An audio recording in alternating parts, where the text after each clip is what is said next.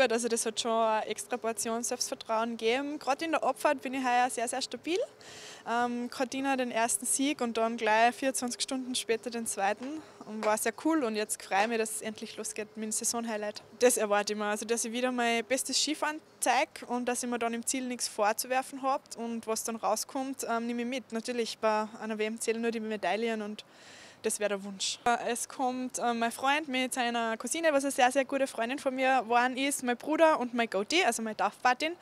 Ich freue mich irrsinnig, dass die dabei sein können und dass die das auf sich nehmen, dass sie da nach Aare reisen. Noch stecken sie im Schneechaos fest. Also in München ist heute, glaube ich, nicht viel gegangen mit Fliegen und in Stockholm nicht mit London. Und ich hoffe, dass sie jetzt morgen kommen. Sie haben sich jetzt mit der Reisegruppe Venier zusammengeschlossen und ich hoffe, dass wir sie dann morgen am Abend ähm, das erste Mal promising.